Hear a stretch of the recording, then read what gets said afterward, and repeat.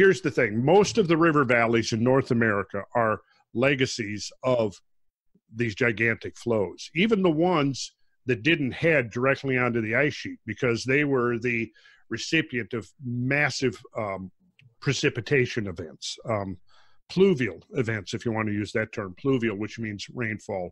You know, the, even in the in the southeast, and again, we'll be looking at that too, so that we see some of the landscapes of the southeast, the southwest, the northeast, how the whole continent basically bears the imprints of these massive catastrophic episodes that not only terminated the last ice age, but even go back further than that uh, to even earlier catastrophes. The problem is when you're trying to understand the earlier catastrophes is that when you have a succession of catastrophes or cataclysmic events, the younger ones tend to largely obscure the older ones. But once you've kind of teased out the, the, the nature of these landscapes, you can get, then begin to almost perceive in, in certain areas through the existing configuration to see that there's older landscapes that have maybe been oftentimes buried.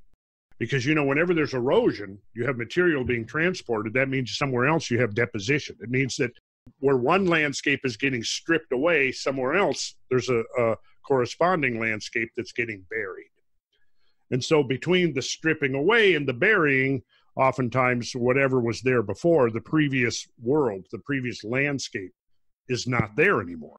And that's the thing that I am hoping that that one of the insights that comes out of this this uh, series that we're going to do is that people really begin to understand how uh, how extreme the remodeling of this planetary surface was uh, during the last glacial termination, and then give using uh, with that insight in hand, being able to look back and realize, yeah, we've had multiple episodes of of planetary remodeling, if you will, and each one tends to eliminate largely the the landscapes that went before. So if you had any kind of culture, any kind of civilization, which gets us back to that question, that existed 20 or 30,000 years ago, it wouldn't be surprising that it's been largely erased. And so, you know, this constant question well, where are the potsherds? You know, where are the, where are the, the toolkits? Where, where's the evidence that there were people, you know, existing back then? Well, that's what many of those, you know, skeptics, if you will, of of an older uh, culture have failed to, to understand is is the extent to which the planetary surface has been completely rearranged.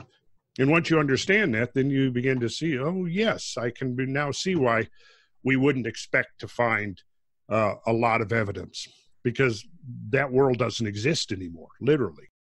So, and I mean, we've been talking about Atlantis as kind of using that as a metaphor. And I want to make it clear here I am not saying that we found Atlantis. This is Atlantis. And I'm not really saying that. What I'm saying is that this could be. It could be because it's consistent. That's what I'm trying to show is that it's consistent with, with really the only real account we have. So, what I'm saying is not necessarily even that this was Atlantis. I think what I'm really trying to say is that there could have been a culture on a group of large islands in the mid Atlantic during the last ice age. I don't know about the climate, the ocean, the nature of the changes, and so on, and what we've seen in terms of the vertical movements and, and, and so on. I mean, so what we're saying is that there could have been.